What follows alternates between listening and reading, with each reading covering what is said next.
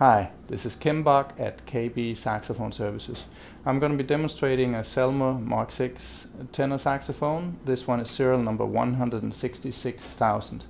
It's an original lacquer that retains most of the lacquer. There's a little wear of the lacquer on the backside of the body tube. Uh, it's an American assembled and American engraved horn. Um, it had a very, very slight neck pull down that we restored, so it's in perfect round condition again. So as good as new. Um, the pads are in very good shape. It has the uh, what looks to me like the original uh, plastic resonators are still in there. We've gone through the horn and it's sealing perfectly and it plays really great. And this is how it sounds.